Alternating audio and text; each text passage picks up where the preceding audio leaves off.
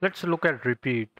Repeat again has a similar uh, syntax as we saw earlier for loop where we have repeat the word repeat followed by the list block of SQL uh, statements. And then we before we end the repeat we specify a condition until a specific condition is reached.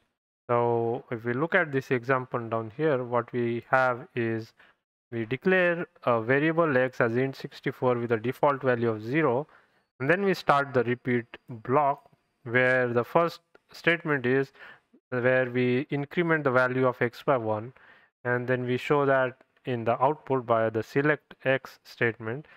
And after that we specify the condition. So we say until x is greater than equal to 3 uh, this particular repeat repeating of the loop will take place and after that the loop would end. And so when we run this again uh, as you may have seen in the loop video we see three different uh, select statements uh, being run.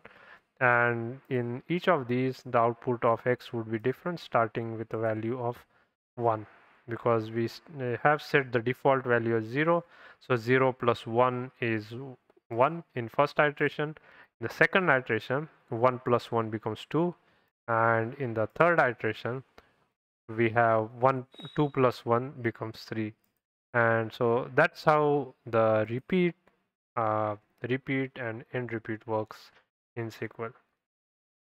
And if you have any questions, please do let me know in the comment section below. I hope to see you all in the next video. Thank you.